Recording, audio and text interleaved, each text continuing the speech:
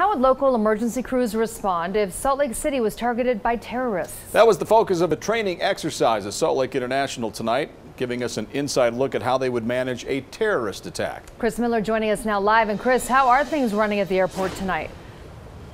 Guys, it's business as usual here at Salt Lake International Airport tonight. Flights are coming and going. Really, the only area they dedicated to this exercise today was a parking lot and one TRAX line. You can imagine if this was a real terrorist scenario, it would be a much different story and probably the airport would be shut down. I went north.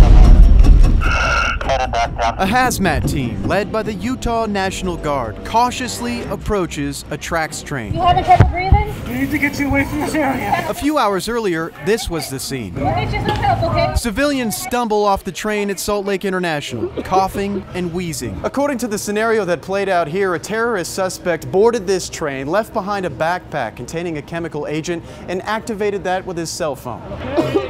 Police and firefighters were the first on the scene, securing the area and assisting the injured.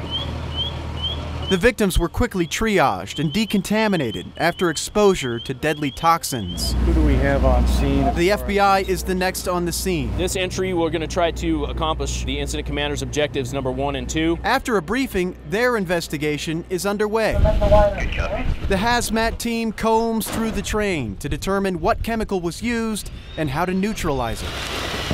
They locate a suspicious backpack and carefully analyze the contents. You remember seeing the bike seat before? FBI and police remotely access UTA security cameras, looking for a suspect that matches witness descriptions. The backpack is all she's got with her. And guys, the training exercises, as I said, took place on the TRAX line here at Salt Lake International, just on the south side of Terminal 1. And I can see here behind me, about 200 yards away, they're just now wrapping up. This whole thing began at 4 o'clock today. Invaluable resource for these guys moving forward. Mark and Shauna. Well, that's for sure. Never know when the real thing might hit, right, Chris?